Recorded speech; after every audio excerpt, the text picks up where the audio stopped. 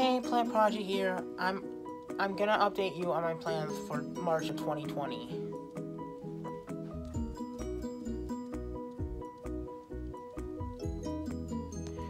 Sorry if my room's a little messy. So, this is gonna be a really awkward tour, so let's begin. First here we have we have a oh Ficus lyrata or a fiddly fig, pretty common, so I don't think there's an introduction it needed.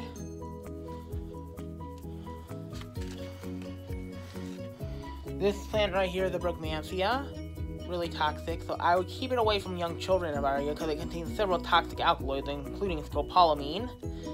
So, but on the other hand, this plant reduces its Brugmansia pink perfume and will produce beautiful trumpet-shaped flowers that, sm that smell really good from what I've heard. Next, we have my Oxalis. My Oxalis triangularis. I got this plant like a month like a month ago and it, it was in much better condition. It's in a not in a good condition now because of because like about a few weeks ago the ceiling tile fell above my plants and and some of my plants were damaged, but it appears to be recovering pretty well. So I, I'm keeping it. So if a plant appears damaged, damaged, it's probably because of that. Here's another plant I have. This was a plant that really sparked my interest in carnivorous plants. This plant is called Nepenthes ventricosa, native to the Philippines. And I got this one at Lowe's a few years ago, and it's doing much bigger than it was, and now it's doing good.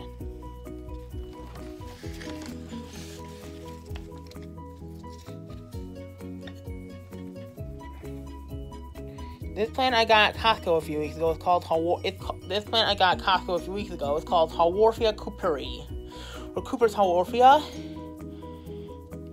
It's best known for its clearly succulent leaves which is my favorite part of the plant.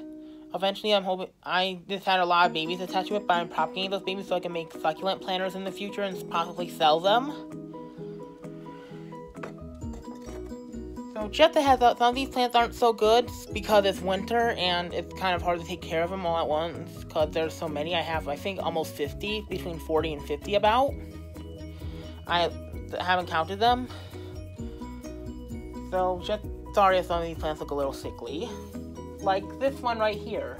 This is a this is a this is a lollipop plant I got at my aunt got, my cousin got from my dad's cousin got for me at Logee's of several months ago.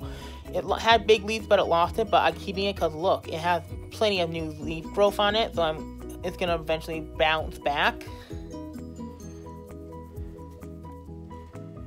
here's a plant that another plant that I don't think is doing so well.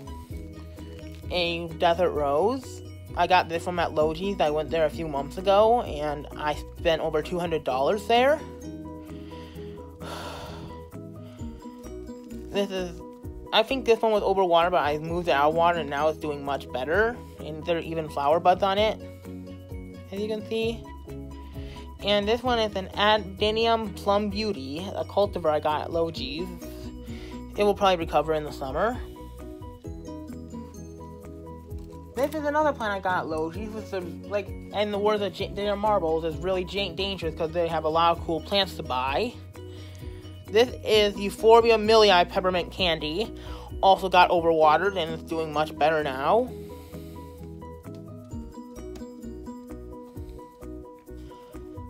Yeah, it had a few flowers on it and much more leaves, but I overwatered it and it's growing new leaves, so I'm not too worried.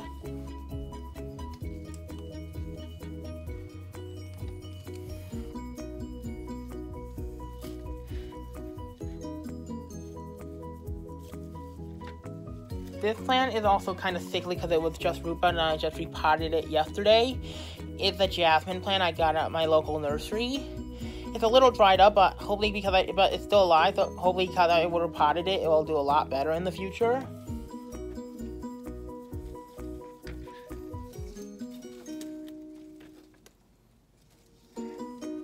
that plant right there is a snake plant. Nothing to see there. I not snake plant. I meant spider plant.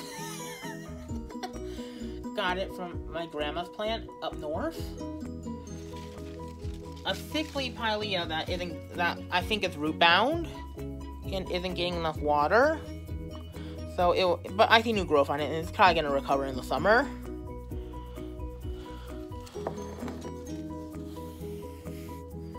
This is a croton plant that doesn't look so good because it isn't getting enough light. So, but it will probably recover in the summer, so I'm not too worried. Another sickly plant that, another sickly Vanda orchid that needs a lot more water.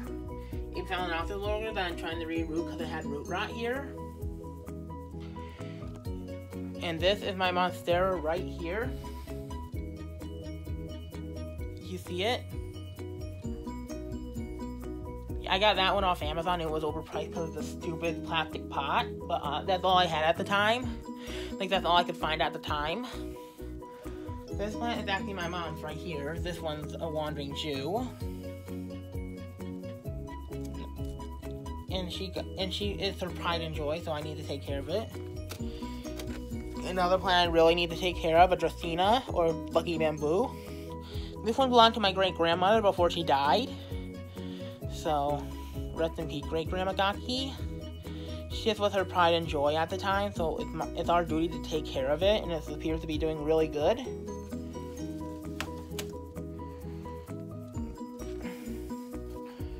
I'm, I'm an orchid cactus, and I don't know which cultivar it is because it hasn't flowered for me yet.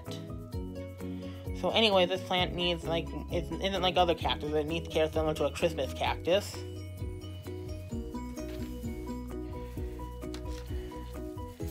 This is my sickly little parlor palm. It's in really it's in a really compact soil, so that might be why.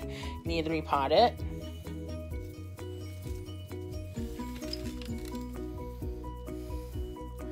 In Marantha lacrynosa plant, I'm trying to germinate, not germinate, propagate from stem. And it's been like this for the last like maybe five or six months. And I'll show you the root growth on it. It hasn't really rooted that much.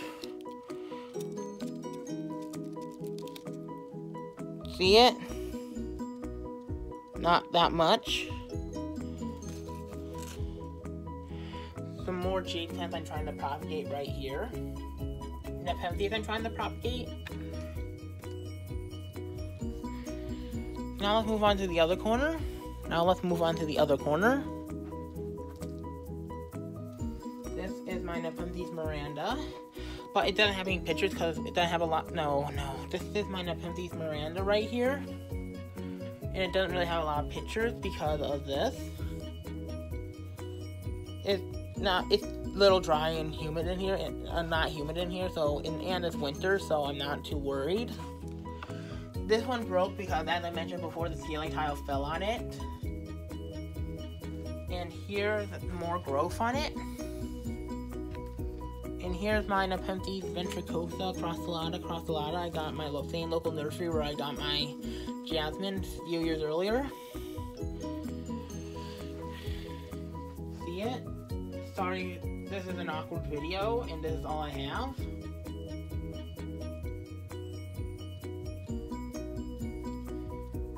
He, this plant right here, this plant right here it. That's actually called a Pygmy Date Palm. Got that one at Meijer for only $15.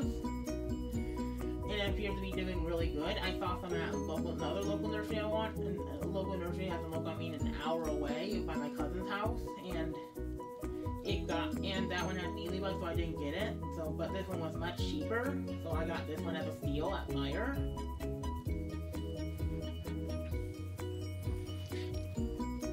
Meijer. I'm dead Nepenthes cutting I'm gonna need to throw away.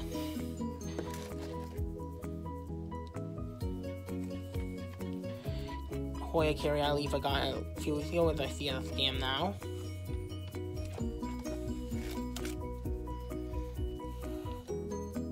This plant is a Calathea rattlesnake. I think it's been reclassified in another genus. I forget which what it's called. It starts with a G. If anyone knows, comment down below.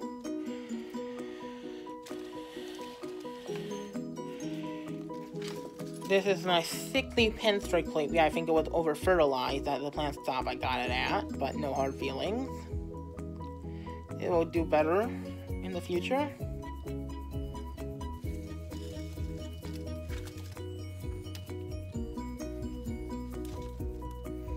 Here is a vanilla bean orchid. This is actually where vanilla comes from, if you didn't know. And this one, this is is an orchid, and it needs to be grown like any other orchid. So I would give it like, not, I wouldn't give it hard water, and I would probably give it right indirect light.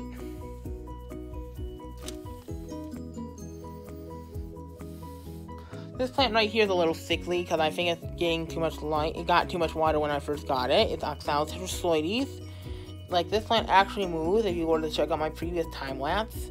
Not time-lapse, there's actual move and move and videos of this plant. It actually moves fast enough to be visible on its own. And I think it needs water.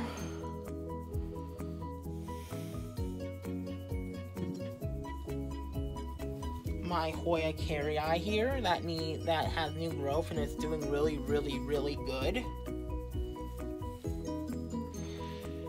Here's my Nepenthes sanguinea that also had had the ceiling tile fall on it, so that's why it's also broken up.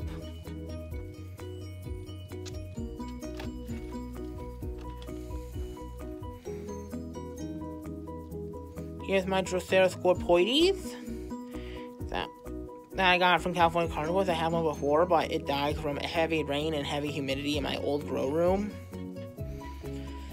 So th this is the one I got and to replace it just a week ago.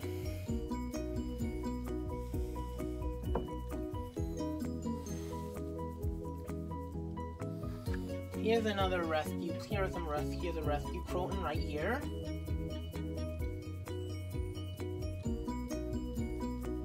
I got this one at Lowe's, and it's also doing not doing so good, fertilize it and hopefully it will recover.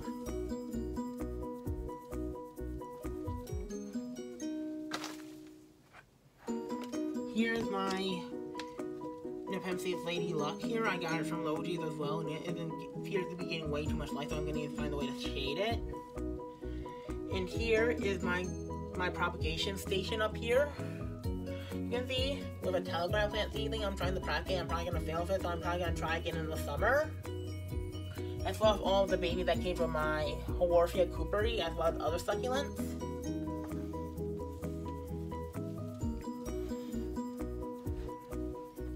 Here's a peace lily. My great this was from my great grandma funeral, the same one who had the Dracaena lucky bamboo. And I think it needs water really soon.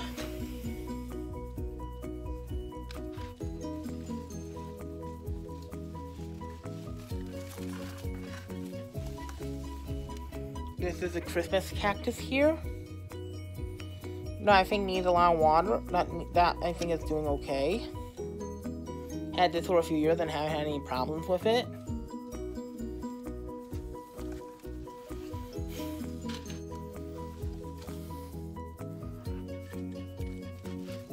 Here's my Hoya carnosa compacta regalis. This is similar to the Hoya compacta variegata. And I got this one at Meijer for only get this, $11. Which I thought is a complete steal for this.